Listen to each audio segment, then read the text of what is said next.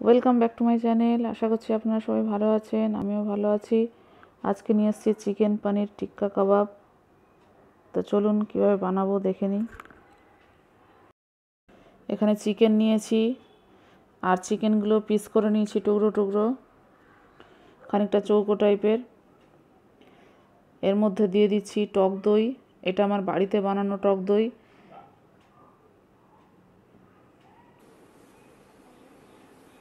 দিয়ে দিচ্ছি রসুন বাটা, দিয়ে দিলে দিচ্ছি আদা বাটা, এর মধ্যে লবণ দিয়ে দিলাম স্বাদ মতো। দিয়ে দিচ্ছি গোলমরিচ গুঁড়ো। এবার দেবো আমচুর পাউডার। আমচুর পাউডারটা দিলে স্বাদটা বেশ ভালো লাগে, টকটক। দিয়ে দিচ্ছি চাট মশলা।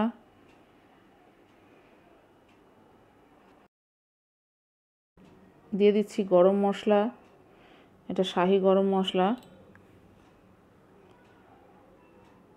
এবার দিয়ে দিলাম জিরে পাউডার।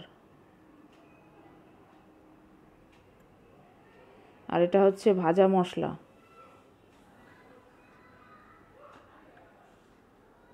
আর দিচ্ছি কাশ্মীরি লঙ্কার গুঁড়ো। কালারটা বেশ ভালো হয়। আর দিয়ে দিচ্ছি, এটা হচ্ছে তন্দুরি মশলা। তন্দুরি মশলাটা আমি তিন চামচ দেব।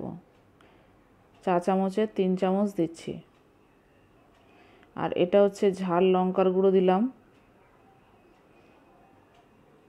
আর দিচ্ছি কাঁচা তেল, সর্ষের তেল। অবশ্যই সর্ষের তেল দিতে হবে। সর্ষের তেলটা একটা ঝাঁঝ থাকে, সেই ঝাঁঝালো গন্ধটা এর মধ্যে থাকে, থেকে যায়। তো সব উপকরণগুলো আমি মাখিয়ে নিচ্ছি। আর এর মধ্যে আমি সসটা দিতে ভুলে গেছি, এখন সসটা দিচ্ছি টমেটো সস। এটা অপশনাল এটা আপনারা চাইলে দিতেও পারেন, নইলে স্কিপ করে যেতে পারেন। তো এটা দিলে একটু অন্যরকম টেস্ট আসে।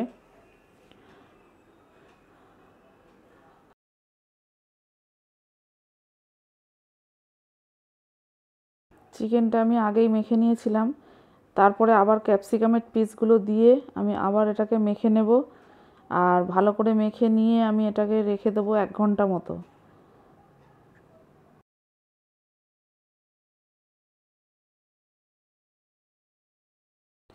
এবার এখানে আমি পনির নিয়ে নিচ্ছি। পনিরটা দেখে আশা করি বুঝতেই পাচ্ছেন, এটা আমার বাড়িতে বানানো পনির। তো পনিরের যতটা লাগবে, আর এই পনিরটা এবড়ো খেবড়ো দেখছেন, এটা আমি মানে তুলতে গিয়ে ভেঙে ফেলেছি। তো যাই হোক পনিরটা এবার আমি পিস পিস করে কেটে নেব। তো একটা মাপ নিয়ে কাটবো যাতে একটা স্টিকে দুটো বা তিনটে পনির পিস দেওয়া যায়। সেরকমভাবে আমি কাটবো। তো বেশি ছোটও করব না আর খুব বড়ও করব না। এগুলোকে এখন আমি লবণ আর চিনি দিয়ে মাখিয়ে রেখে দেব। বন্ধুরা, পনিরের রেসিপিটা আমার চ্যানেলে দেওয়া আছে। পারলে আমার চ্যানেলে গিয়ে দেখে নিও। তো চলুন দেখে নিই কীভাবে স্টিকগুলো তৈরি করব। তো আমি এখানে একটা তামার তার নিয়েছি। একটা নয়, এখানে আট পিস আছে। তো তামার তারটা নেওয়ার কারণ কাঠিতে নিলে বেঁকে যায়, এর ভারে অসুবিধে হয়, তাই তামার তার নিয়েছি। আর লোহার তার হলে জং ধরে যাওয়ার ভয় থাকে, সেই জন্য তামার তার নিয়েছি।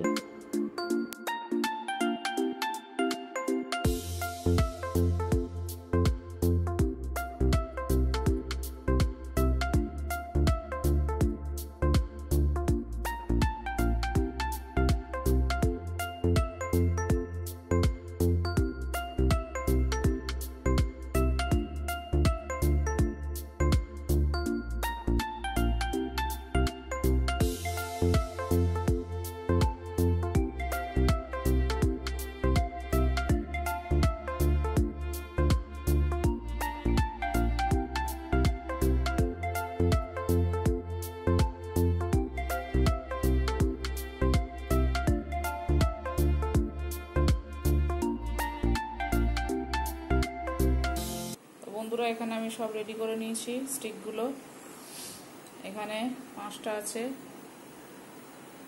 আর এখানে তিনটে আছে। তো এই স্টিকগুলো রেডি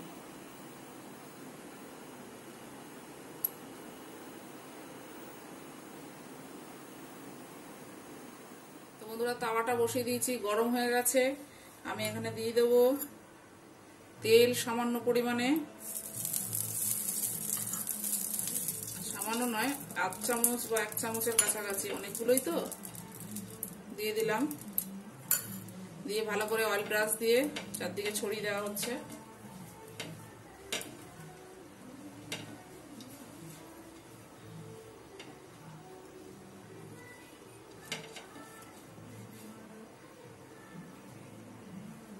এবার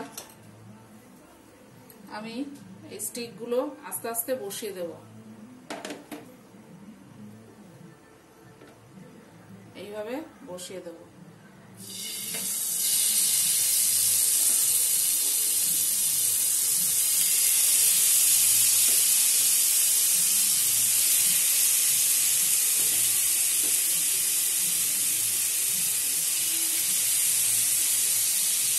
তো এখানে আমি চারটে করে স্টিক এই চারটে করছি, পরে একটা চারটে করব।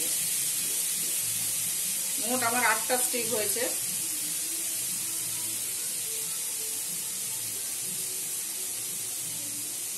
আর এবারে এটাকে আমি ঢেকে দেব। এটাকে আমি ঢেকে দেব। আর এখানে ফ্লেমটা আমি একদম লো থেকে একটু বেশি দেব মিডিয়ামও নয়। বুঝে এটা দিতে হবে যাতে পুড়ে বেশি পুড়ে না যায়। কাঁচা থেকে যাবে তাহলে মাংসগুলো। আর এটাকে দিয়ে আমি এবার ঢাকা দিয়ে দেবো। তো চলুন, ফিরে আসছি।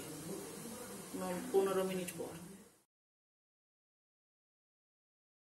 তো এগুলো এবার সাঁড়াশি দিয়ে আমি একটা একটা করে উল্টিয়ে দেবো খুব সাবধানে, কারণ তারগুলো গরম হয়ে গেছে।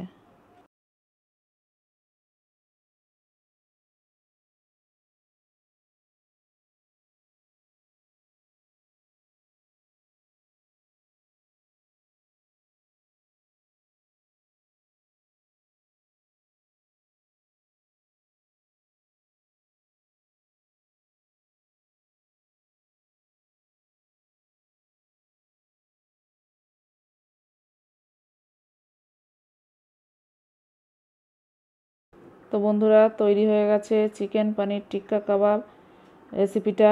কেমন হয়েছে বানিয়ে খেয়ে কমেন্ট করে জানাবেন অবশ্যই। আর এই কাবাবটা যে কোনো চাটনি, যেমন টমেটোর বা টমেটো সস আর ধনে পাতার চাটনি, কাসুন্দি, এগুলো দিয়ে খেতে খুবই ভালো লাগে। এছাড়াও স্যালাড দিয়ে খেতে খুব ভালো লাগে। এটা বাড়িতে বানিয়ে, যে কোনো খাবার বাড়িতে এখন বানিয়ে খাওয়াটাই স্বাস্থ্যকর। আর রেসিপিটা প্রথম থেকে শেষ পর্যন্ত দেখার জন্য বন্ধুদেরকে অসংখ্য ধন্যবাদ। রেসিপিটা ভালো লাগলে আমার চ্যানেলটিকে প্লিজ সাবস্ক্রাইব করবেন, লাইক করবেন, বন্ধুবান্ধবকে প্রচুর প্রচুর শেয়ার করবেন। Thanks for watching.